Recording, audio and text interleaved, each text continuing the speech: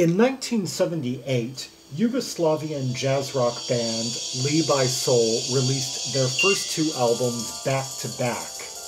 And from the second of those, simply titled Two, the track Marija.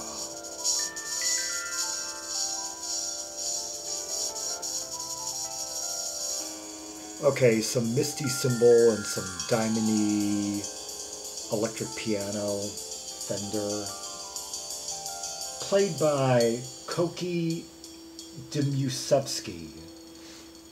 And the track is written by guitarist Vlatko Stefanovski. And that cymbal mist is by drummer Garo Tavit Tavitijan. And he also was credited with vibraphone on the album.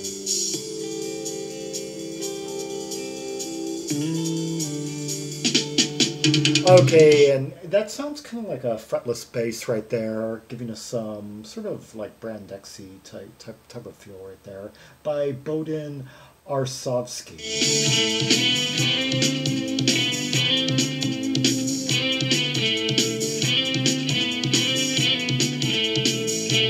Okay, take it back on that fretless comment.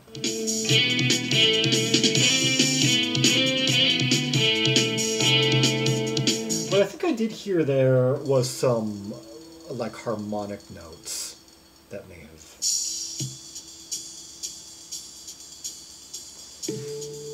Yeah, that. Yeah, that right there kind of sliding notes with those har- harmonic plucking on the bass.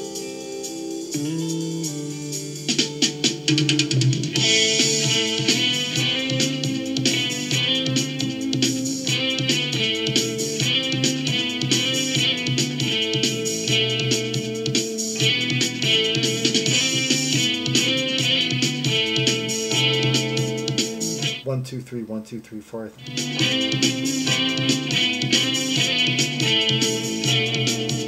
Okay, basically we got the uh, bass and drum figure that I've pointed out. Then we've got that like guitar melody kind of poking through the uh, kind of diamondy keyboards.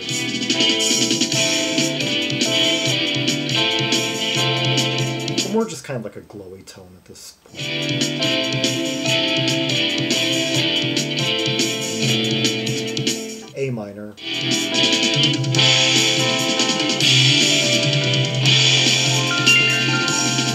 That diamond tone again.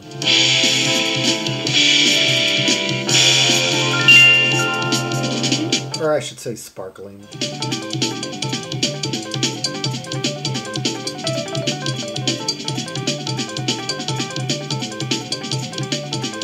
Wow. Okay. Now we got that kind of uh, almost like vibe-like uh, tone on the Fender, playing really fast. I'm also hearing.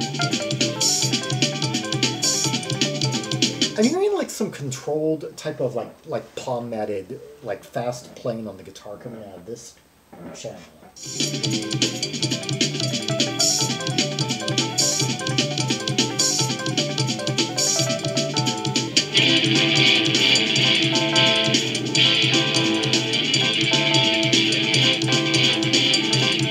Know we got that really uh, like thick kind of uh, but but kind of muted riffage that's coming in. It's coming in at the center amid that really uh, like arpeggiated uh, Fender.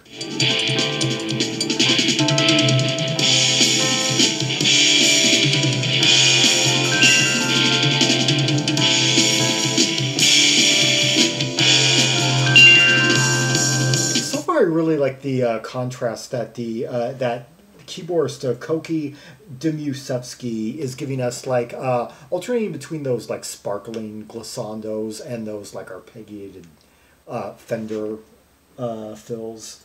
Uh, that that that and that part kind of reminded me of um, Epic Hero by Skywhale.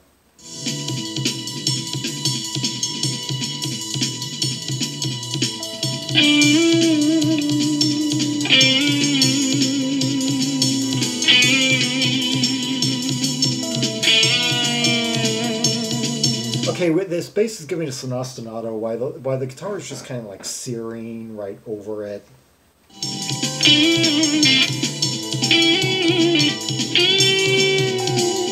I like that thick tone.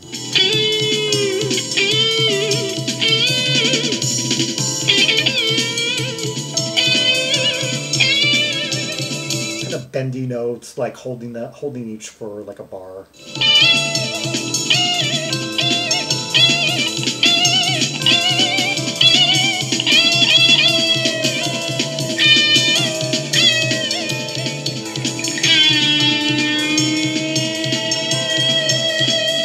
One, two, three, one, two, three, one, two, one, two, three.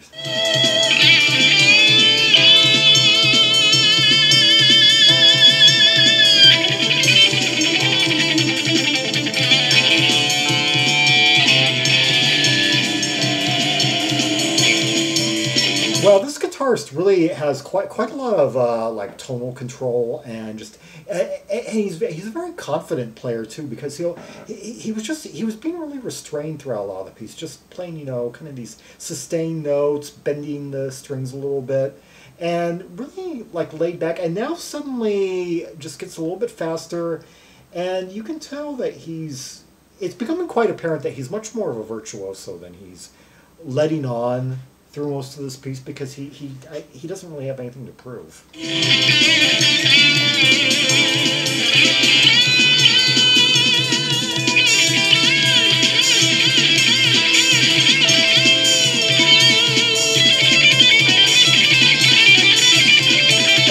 Appreciate this. Now we've got four instrumentalists that are all just playing completely to the hilt in, in terms of their virtuosity. We've got that really rapid fire bass ostinato, kind of low in the mix. We've got the drumming that's just all active and and, and just putting as many beats in as possible. We've got the you know fills of that the, the keyboards and um, the guitarist now front front and center in all this.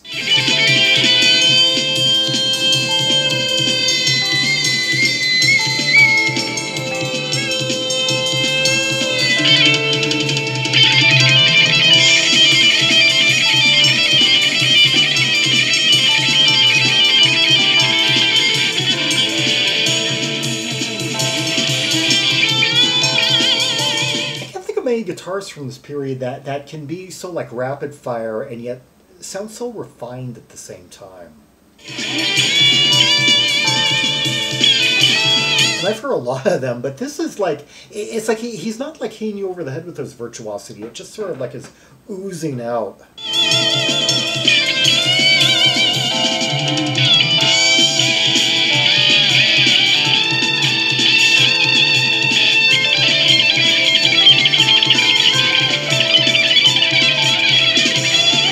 The way those rapid fire runs kind of follow these these just moments where he just makes it ooze and cry and soar and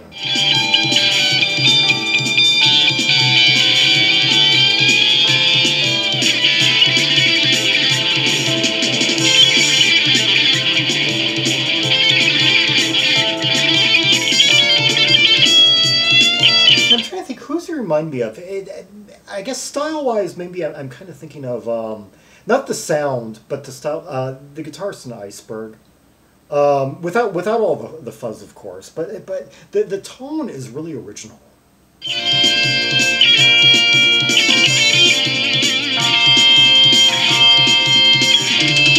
It's it's clean. It's kind of trebly, just like, but it's also kind of thick.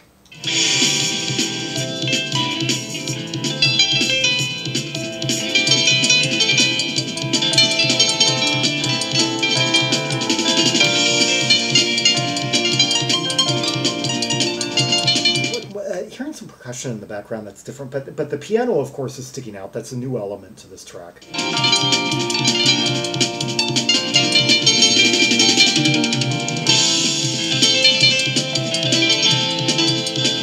This thing is basically just a half step, like like A minor. We a moment ago we were up in in B flat, just between those two.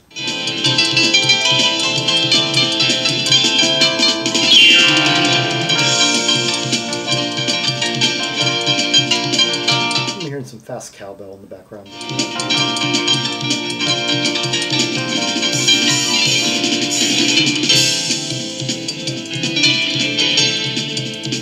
I just love these pieces where you get where each uh, instrumentalist takes a solo, and then in a couple of cases, the same instrumentalist will take two very different kinds of solos, like maybe on two different kinds of keyboards or something.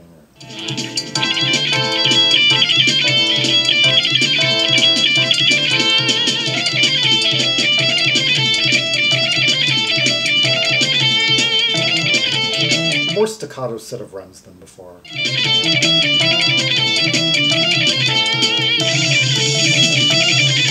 the bassist doubling up on him now?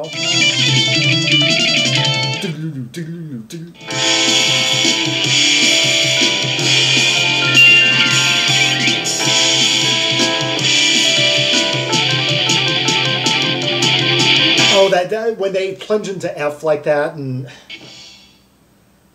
Uh, yeah, that was uh, Marija by Leb I Sol from the Yugoslavian jazz rock band's 1978 second album, Two. And yeah, showing a lot of range on that track. Really, um, for uh, the, the underlying composition was kind of simple, but like chordal wise, but uh, the way they built on it and developed it and just the energy they put into it through the soloing, through the um, range of instrumentation employed, and, and each kind of taking its turn and really uh, given the time to stretch out and uh, the the purity of tone and the separation, the tonal clarity between instruments. Yeah. Uh, the only thing we didn't get to hear, I guess, was um, drummer Garo Garo's uh, vibraphone, but uh, other places for that. We we we covered a lot of ground even without it. Yeah. Yeah, uh, Leb I Sol, a prolific band, put out a whole bunch of albums on the PGP RTB label. Uh, six of them between 1978 and 1982, and and then a few more albums on uh, Jugoton in the mid late 80s. Yeah, and uh, just kept on going. I think uh, I think ultimately maybe went through a style change. I, I don't know if they remained. Um, I think after I, I, I don't know if, if they remained a jazz rock band throughout their career. Like um, I think I, yeah. Anyway, yeah, I've I've I've worked um, up through the early '80s. Let's just say. Um, anyway, for more rubies and sapphires from the Leb I Sol, uh, the the first few albums anyway, the first five or so. See the directory of albums by Eastern. I'll just say Yugoslavian artists and artists from the former Eastern Bloc. Yes, uh, or what was one time uh, Yugoslavia anyway. Um, and since since the uh, directory primarily concerns um, the uh, the 1970 to 1986 era, uh, yeah, it's it's okay to call it Yugoslavia, even if it's like a yeah. Uh, anyway, Croatia and, Serbia now. Yeah. Like and subscribe, follow me on social media, share the video, and leave a comment if there are any observations you have about the track we just heard, the uh, interplay, the layers, the harmonics of it all, the dynamics, you know, who had the best solo, the best passage, the best runs. And until next time, this is Zaragon, the world's most ear-traveled Maximalist, saying off.